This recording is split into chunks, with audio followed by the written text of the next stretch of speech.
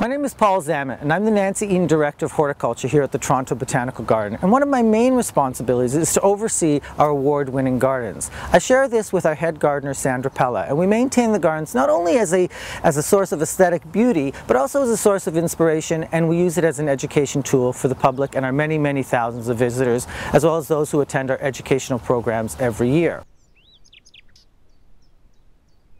An invasive species is an introduced species, a non-native or non-indigenous species that gets into an area and has an impact on the habitat both from an economical and an ecological standpoint. In Ontario we see a wide range of invasive species and it's important to recognize that invasive species can either be plant or animal. Example of a plant that we're dealing with here at the Toronto Botanical Garden include things like garlic mustard and dog strangling vine. The impact of an invasive species is they often can outcompete many of our native species. Because they are not native to these areas, they do not have predators that are going to naturally feed on them, whether it's feeding on their foliage, keeping them in check, or feeding on their seeds and preventing them from spreading. Many of them are also very aggressive, and in that they outcompete the natives by outgrowing them and competing for habitat, whether it's light, soil conditions, or uh, nutrients to grow. Dog strangling vine is a challenge. It's an invasive species that has gotten into our gardens here at the Toronto Botanical Garden and we're dealing with it across southern Ontario and into the, the US. It's a challenge because it's a rapidly growing vine that has no predators here. So nothing is feeding on its foliage and or feeding on its, its flowers. And as a result, it is seeding across and outcompeting many of our natives. There's a few things that people need to be aware about dog strangling vine.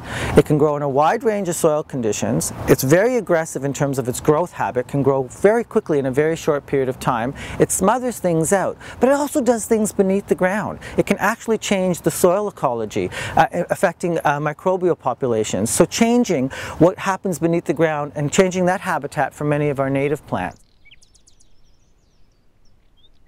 So dog strangling vine is a perennial vine that grows typically as a single stem and grows very, very upright. It produces long stem with these oval dark green leaves that are arranged in an opposite pattern along the stem. As the plants mature, they do produce these star-shaped little dark brown or maroon or burgundy flowers, which eventually lead to the very characteristic seed pods.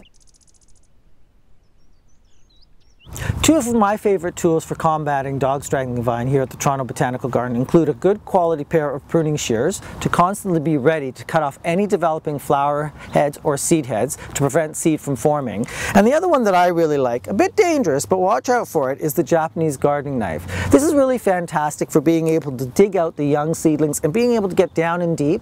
It's also really great for the spring when those young seedlings are just beginning to form to go through and cultivate the soil and disturb them and simply knock them back. One method we've used here at the Toronto Botanical Garden to help reduce the spread of dog strangling vine is by physically removing the plant. If you can't do so, one thing that is very, very important is to prevent it from flowering. As a result of flowering, it will produce all of these seeds which will germinate next year and continue the spread. So what we recommend is if you can't remove the plant, at least come through and remove the developing flowers. Get rid of those. Cut down the spread of the seed.